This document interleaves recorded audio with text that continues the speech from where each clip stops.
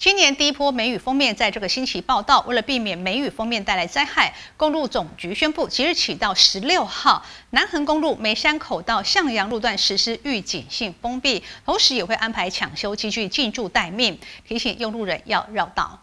南横公路在今年五月有条件的开放通车后，迎来了第一个梅雨封面。公路总局第三区养护工程处研判气象水情情之后，发现雨量预估会超过大雨等级以上。恐有带来灾害的疑虑，因此自即日起至十六日实施预警性的封闭。哦，那这几天零星的一个降雨也造成我们有一些零星的落实。哦，那像昨天也接获了好几起的一个通报，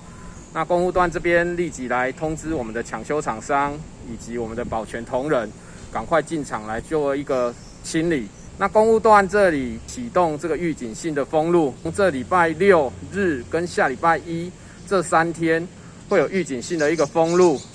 哦，那届时梅山口至天池至向阳这个路段是没有对外来开放的，